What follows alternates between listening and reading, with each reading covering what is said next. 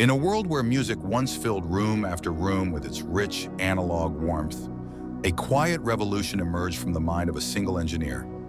Karlheinz Brandenburg, a visionary at the Fraunhofer Institute, took on the daunting challenge of transforming how we experience sound. With the development of the MP3 format, he didn't just compress audio, he compressed the barriers between artists and listeners, making music more accessible than ever before. However, the path to success was not without its hurdles.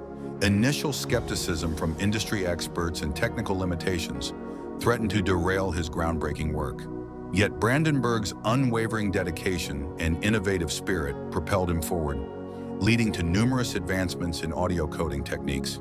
His perseverance turned setbacks into stepping stones, ultimately leading to the establishment of MP3 as a global standard in digital audio. Brandenburg's contributions resonate beyond mere technology. They represent a cultural shift in how we interact with music.